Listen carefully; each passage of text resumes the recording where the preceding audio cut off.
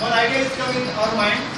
The psycho psychometric. Psychometric is one of the branch of engineering which deals with the study of the uh, moisture present in the air, dry air. Moisture present in the dry air.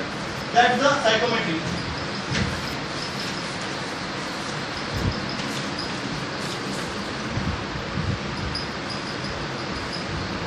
Psychometric. Some terms in that psychometrics. Dry air, moist air. There is one device to use measure the uh, moisture present in the dry air. How much percentage of the dry air present in the how much uh, water vapor present in the dry air. There is one device psychometer. Psychometer, ceiling psychometer is used to measure the moisture present in the dry air.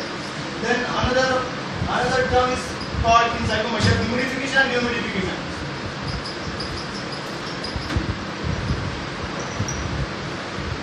Humidification and dehumidification.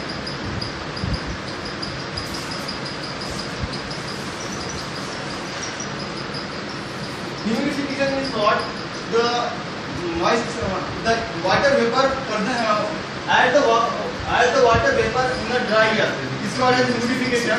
And dehumidification is removal of water vapor from the dry air. This is called as the dehumidification. Then my friend, the next my friend was teaching about the NCMP.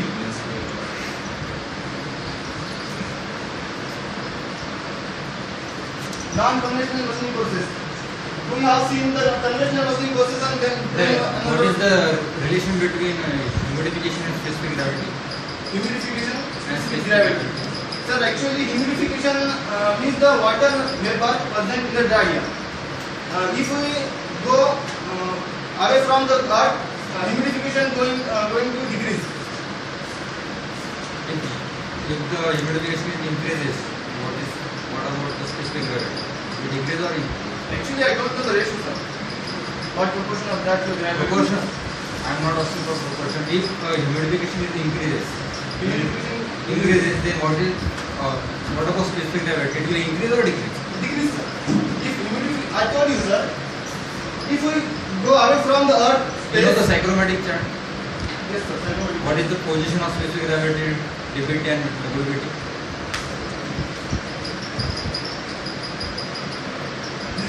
Is psychometric chapter. Where is a specific, uh. Arrival temperature.